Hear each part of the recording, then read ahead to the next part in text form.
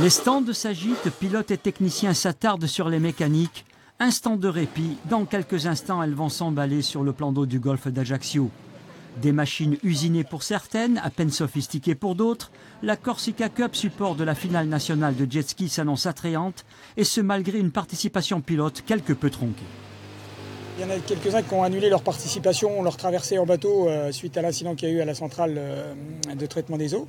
Euh, les, réseaux sociaux vont très vite et il y en a qui ont pensé que la course n'aurait pas lieu. Donc déjà il y a ça. La deuxième chose c'est qu'on est très fortement concurrencé cette année, impacté par une société qui s'appelle la société P1, qui est une société anglaise qui vient organiser des compétitions en France et qui a organisé notamment Cavalère la semaine dernière. Il y a eu pas mal de casses à Cavalère, il y a eu une dizaine d'accidents et donc des pilotes qui n'avaient pas prévu de participer n'avaient plus de machine. Donc on a perdu encore quelques pilotes sur ce coup-là. Réglés comme du papier à musique, les épreuves s'enchaînent à la vitesse grand V. Scotchés à leur poignée de gaz, les pilotes poussent à l'excès leurs ambitions. Un spectacle de très haute volée où le talent et l'audace sont d'une prépondérance capitale. On le sait, dans ce domaine, les pilotes corses n'ont rien à prouver. À domicile, ils ne veulent pas décevoir.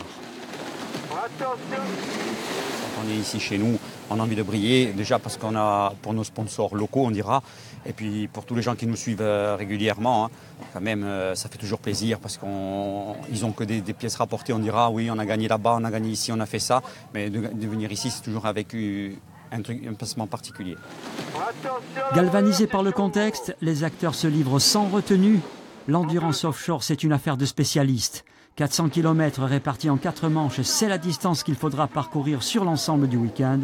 Une certitude, la Corsica Cup couronnera un grand pilote.